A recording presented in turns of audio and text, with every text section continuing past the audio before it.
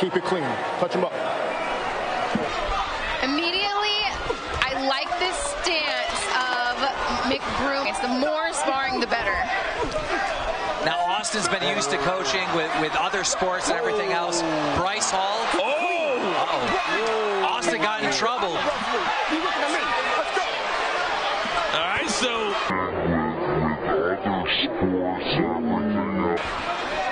Bryce Hall's been in over 40 straight fights. Oh, Very interesting. So he does bring a little experience to the to this ring, right? that his dream was to play in the NBA. Ooh, beautiful. Big oh, left hand by Straight McBroom.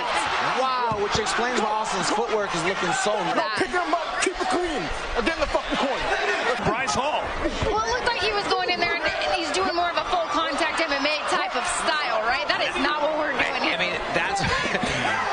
talk about the street fights. He wants to tackle people.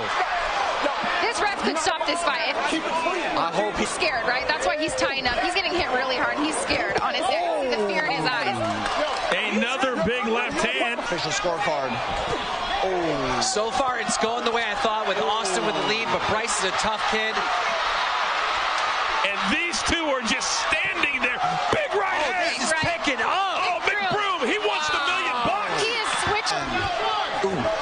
Every shot is Good straight left hand. Oh! And Bryce Hall's head is just snapping back. To pay a million, he's still up.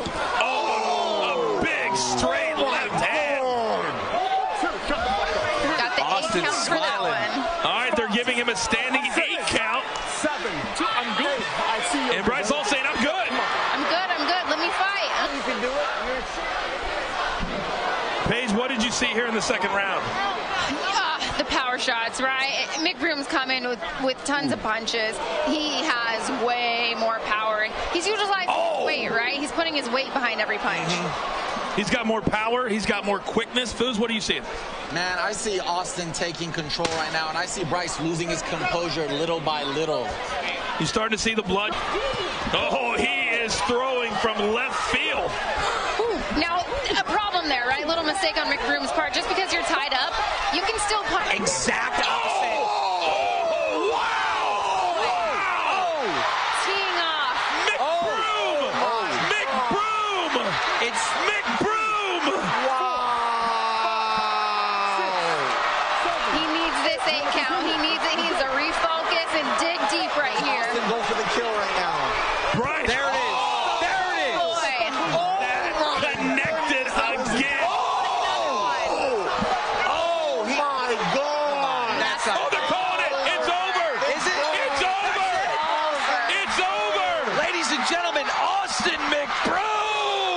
Absolutely amazing performance. He didn't just win this fight. He won a million dollars, knocking out Bryce Hall. There's going to be more controversy, but only from the standpoint of was it a good stoppage?